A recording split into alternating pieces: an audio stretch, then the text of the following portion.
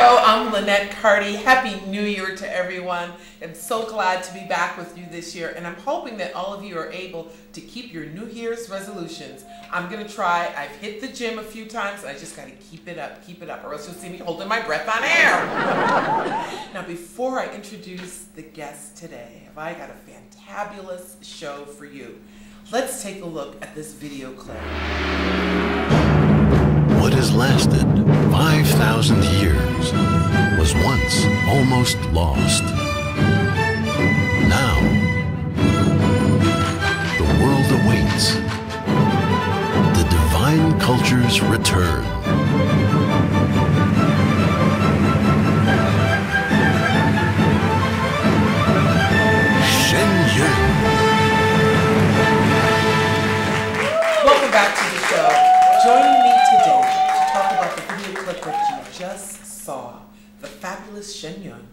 Here with me William Cheung, who is president of the Connecticut Chinese Cultural Association.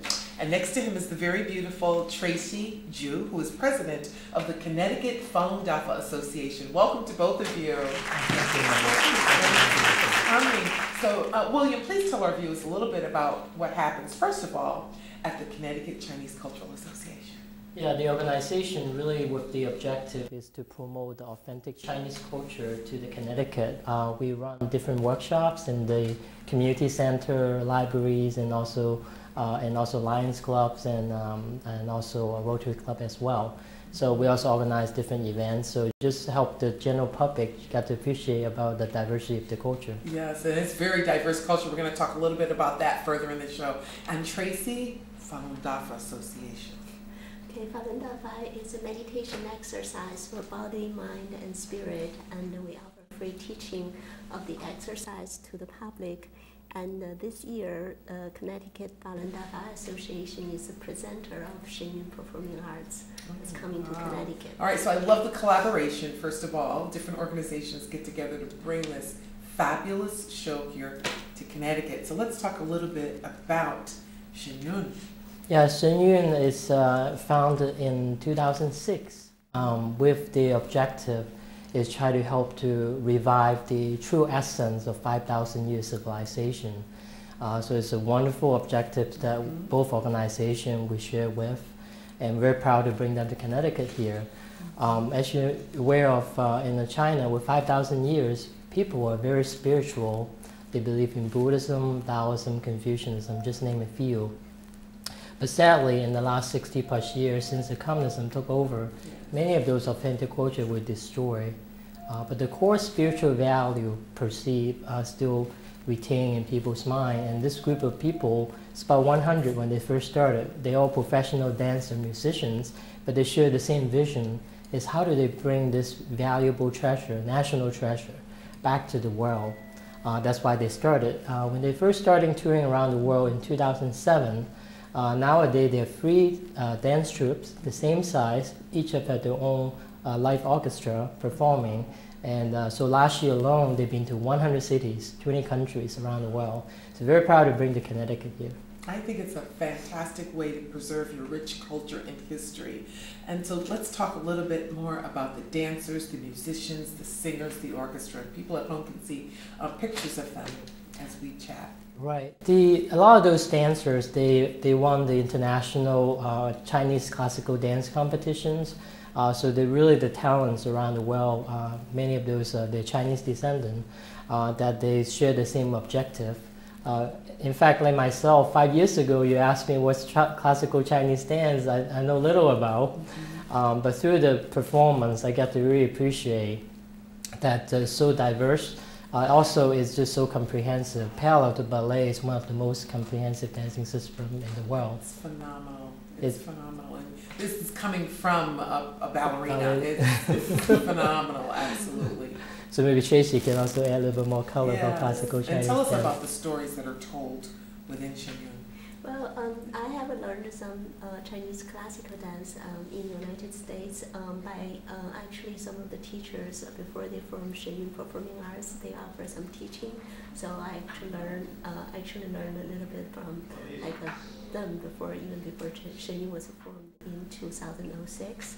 So um, and so I know like a Chinese classic dance is very takes a lot of training and the discipline.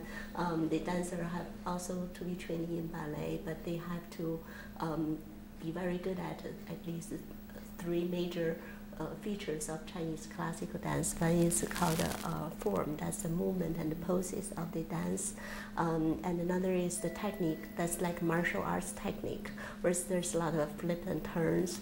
And uh, another one is, yes. yeah, yeah.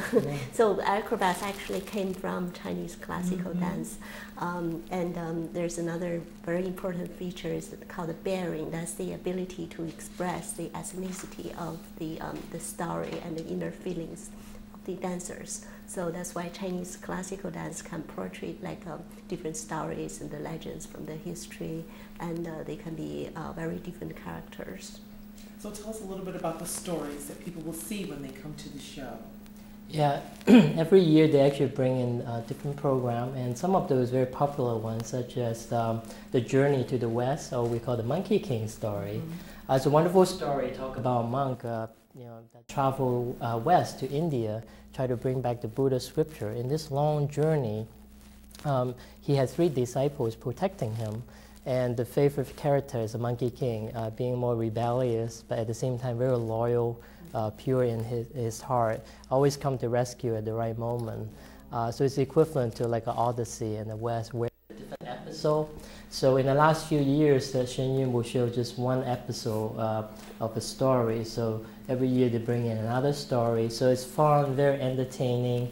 Uh, really, it's very enjoyable. You learn about the history, yeah, it's, it's also very enjoyable. Mm-hmm. And Tracey? Yeah, and that, that was story? from the that was from the Tang Dynasty, one of the more than fifty dynasties throughout Chinese history. Yeah, and and there's another story you want to mention, Mulan. Mulan, yeah, the other one uh, about three years ago, their performance about Mulan. You may heard about Mulan from the Disney. They have an animation. It's a wonderful story. It's talk about a young lady. It's over a thousand years ago. It's a real story. In fact, uh, she joined the army and served the army for close to ten years. Remarkable young lady at that age that you know probably rarely venture out doorstep, let alone so brave to fight for the country. Yeah. Uh, it's a happy ending too, so she returned home at the end of the war. It's more about her spirit, you know, making sacrifice for your family, your country, her resilience, her courage, loyalty to the family. So a lot of those common values that we appreciate and, and we treasure. Yeah, it's a beautiful story. Absolutely beautiful story. Now let's talk about the costumes. They are outrageous. Yeah, with the performance, they think about the group about 100 professional dancers and musicians in together. So of the 50 professional dancers, so with each of the program only lasts about five minutes or so. Uh, yet the show is two hours, so you see about 20, 15 to 20 different pieces. Different costume, different backdrop, different music. We'll, we'll touch on some of those later. But the costume, all of those are handcrafted.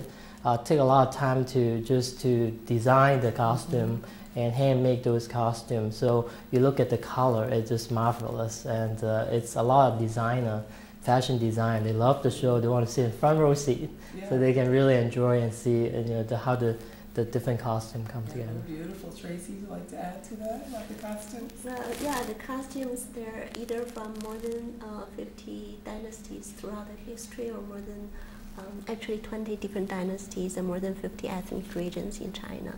Yeah, they're beautiful, absolutely. So let's talk a little bit now about my favorite thing, uh, which is dancing, back to the dancing, but the choreographer. I'm just imagining how this person puts this whole show together or a group of people. Tell us a little bit about the choreography that goes on behind the scenes. Yeah, our understanding is that, yeah, it's a large group of uh, uh, choreographers to work together. Uh, there's so much story to tell with 5,000 year history. So I think one of the hardest part is to first have to choose the story and then how do you compose the story and present it on stage. And that's the beauty of performing art. They're so expressive. that we need to do any talking yet you enjoy, appreciate it. Um, they also have to combine with the technology nowadays with this animated digital backdrop.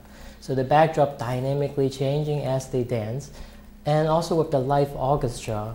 So all describing on the stage with a large group dance, it takes so much effort for them to put together. So essentially, they spend about three, uh, six months touring around the world. The other six months, they're dedicated to make new programs. So every time you heard about, every year they bring in 100% new program. Yeah, I had an opportunity to speak with Tracey uh, before the program, and I was going through some of the previous year's uh, books with the pictures of the costumes, and no two were alike. They're very unique, and the stories that were told were very different, and I just I'm amazed. It's beautiful. It's so beautiful. So let's move on to the musicians and the orchestra and the conductor. Tell us a little bit about them. Yeah, that's also very unique. Um, as they continue to grow now, they actually have three dance troupes. So they actually have three uh, large orchestra. Um, they spend, I know they spend 10, 10 hours a day practicing. So it's amazing. Many of those, they come from very well-known orchestra um, in previously. And the music, what makes it so unique is it combined. This is really the world only live orchestra that play both classical Chinese and classical Western instruments. Wow. And it's quite a challenge because the melody is very different, but when they combine together nicely, it's just a breath of fresh air. It's remarkable music. Um, it, the tone is very different. Uh, it's something you can appreciate diversity again. Uh, one of my favorite Chinese instruments called erhu is also known as Chinese violin. It's only a two-string instrument, but the sounds of the world, very soulful.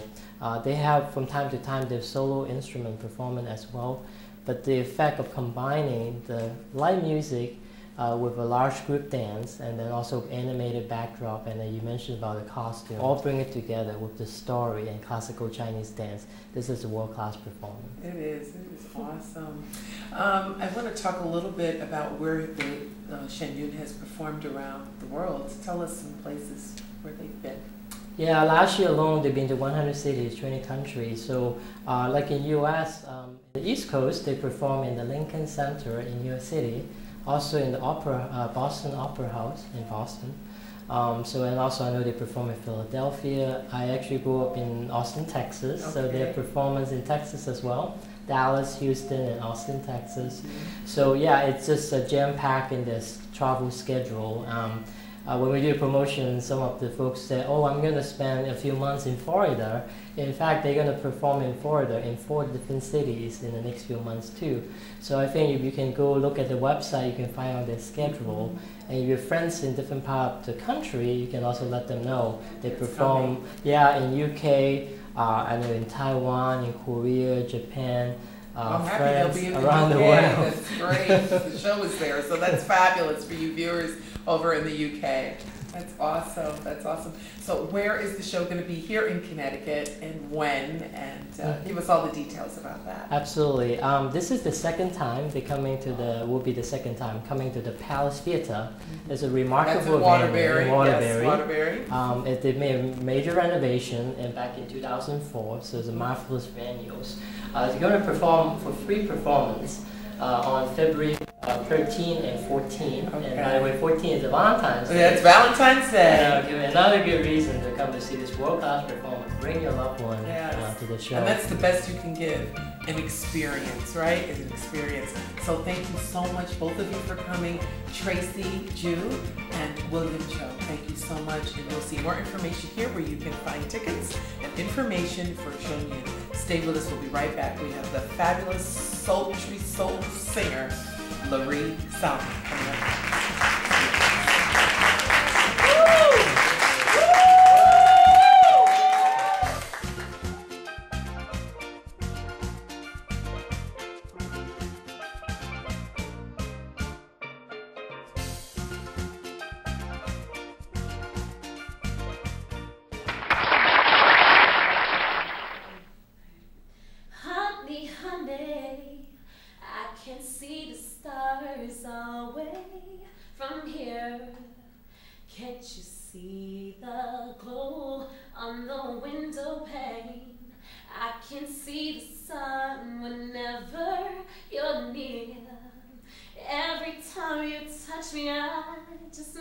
away. Now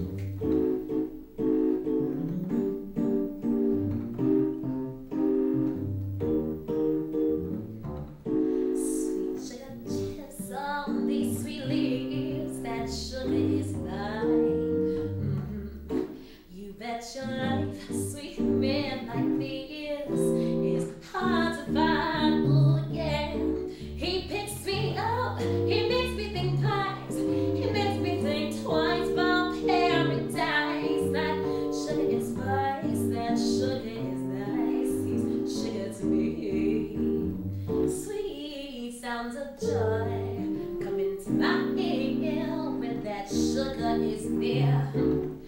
He sounds so sweet, my heart's getting so big when that sugar is there. Ooh yeah, he picks me up. Ooh, he makes me think twice. He makes me think twice. My paradise, that sugar and spice, that sugar is nice. He's sugar to me. I want some of your brown sugar. Oh, oh, oh.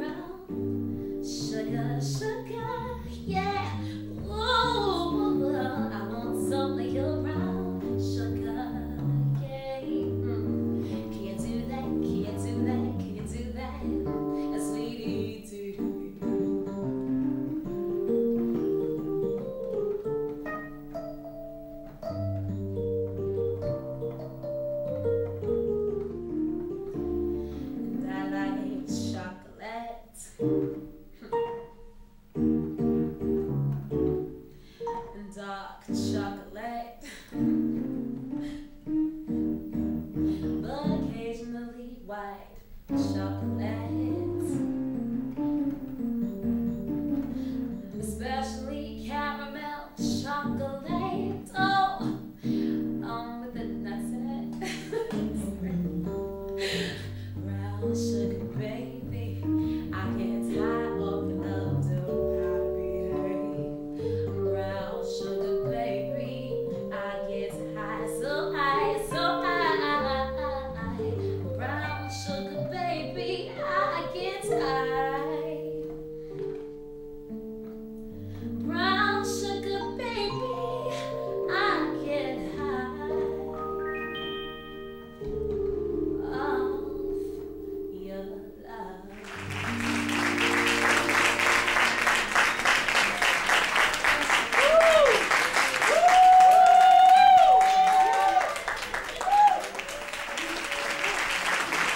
Welcome back to the show. Weren't they amazing? The sultry, soulful sounds of Miss Laree Salmon. She's here joining me on the sofa along with Mr. Jason Durrant. You guys are amazing. Thank you so much for coming. Thank you for having us. Yay. So, first of all, how'd you get into singing and where are you going next with it? Hmm. Well, I've always been singing, I think, or I like to say. Um, I want to say that um, I started picking it up a lot more when I was living in Orlando. Um, and I was actually in the military for four years, and I was uh, their little singing airman. Oh, wow. now, I know you blend your singing with your fashion. I do. Talk a little bit about that. Well, vintage is art and music is art. Yes. Yes, um, that's where I'm going with it. I'm, you're going to see a lot more singing um, of myself singing um, coming up, actually. Um, and it's leading into a production that I'll be putting together in May. And it is called Vintage is Art, Music is Arts. And uh, the tears will be telling you first Harlem Nights, Motown, Woodstock 69, and Queens of the Night, which are all the fashion icons, style moguls from back then. Okay. Yes. Great. So we're gonna have you back. I know, Mhm, right? mhm, In May. mhm. And Jason, Yeah. you got an album out. Yes, I do. Yes, Tell I us do. about it. Well, it's a smooth jazz album. Um, it's called Embracing the Moment. You could check on iTunes, type in Jason Durrant. That's D U R R A N T, the last name, and it will pop up. Um, as well as another one coming out, um, Love Between Us. That one's coming out in Valentine's Day. So, Okay. and that's Laree's actually is on that one. Talent, talent, talent. Well, you know. Thank you guys so much for coming. Jason Durrant and Lisa. My name is Linnet Carty. Thank you so much for watching. I want to thank my guests from the first segment, William Cheung and Tracey Zhu. Thank you so much for coming on Shen Yun. And uh, a very special thanks to my crew, both to Miguel Vasquez and my director, Jitu Huntley. Couldn't do it without you. We'll see you on the next Linnet Carty program.